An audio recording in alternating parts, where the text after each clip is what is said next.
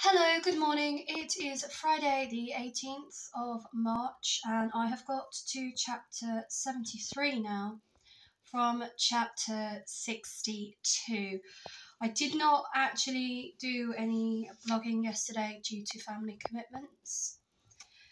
So, at the moment, I am on page 100, sorry, 421 I still need to finish the book.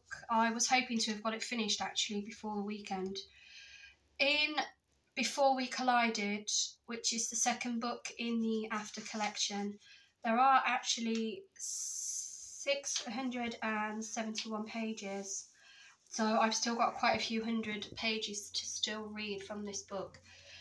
But again, I'm kind of getting to the point now with these books that although I'm kind of like persevering with them, it's why are you still with this person? I mean, recently they've even looked after Smith, who is Vance's son, because he was sick. And you know what children are like, they're quite fickle and Tess was kind of hoping that Smith would, would warm to her. And in fact, he wants to spend time with Hardin. And he's asking him all these questions. Is this your wife? Are you going to get married? Who is this lady that lives with you? And he's like, no, no, we're not getting married. No, we're not having children. No. Why would I want that? And obviously, she can hear what's going on, and she's a little bit upset about it, to be honest. I mean, you know, they've gone back to work, she's gone back to college, he's gone back to college.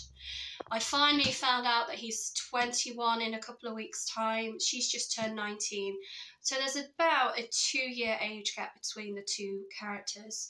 So even just with having that slightly different age gap and similar family backgrounds, but the dynamics being slightly different, that they aren't in the same place in this relationship. I mean, he, he's really treating her like garbage, and at the same time, she's got to the point now where she's given as good as she gets, which still proves how toxic the relationship is between them. I mean, also, you know, she gets drunk, he leaves her at a party, he goes home and gets completely wasted himself. Yet they're still together. She's gone back to college and he's been like really controlling of her, won't allow her to talk to certain people especially men. So there's the whole control thing. She's mine. No one else can see her. No one else can touch her. No one else can be a part of her life. Yes, he still tolerates Landon, but he doesn't have a choice considering he lives at his father's house with his mother, who's now, in fact, his stepmother. So, and he's their son. So, um, yeah, it is one of them where it is kind of very, still a very controlling situation. And at the same time, she's got her internship, she's happy in her job, but she's doing religious studies. I don't know why she's doing religious studies, but she is.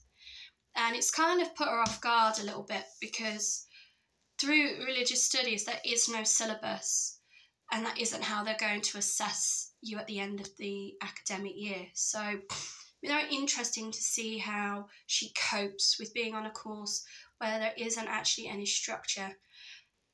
I mean, it's bad enough being in a relationship with somebody who's so volatile, and now it's sort of encroached through into her education and a little bit into her employment as well. So we shall see what happens, and I will continue to read this book. Hopefully, I will get it finished by Sunday, and we'll take it from there. Thank you.